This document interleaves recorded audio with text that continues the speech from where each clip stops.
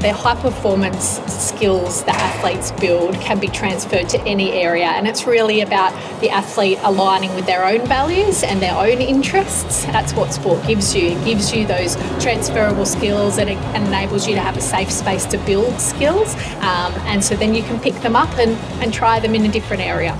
Yeah, I think you touched on that. Some of the traits of athletes, they're incredibly self driven. And in fact, they're almost always their biggest critics. I think when you're playing sport, I know what my strengths are, I know what my, what my weaknesses are. Athletes are really great communicators. They're very good at articulating and asking for feedback, which doesn't come naturally to, to most people, which you realise once you get out of that sport bubble. Being curious, understanding what different types of roles take, and then you'll be able to apply your strengths to that. So I think it's a lot broader than we think, the industries that suit athletes.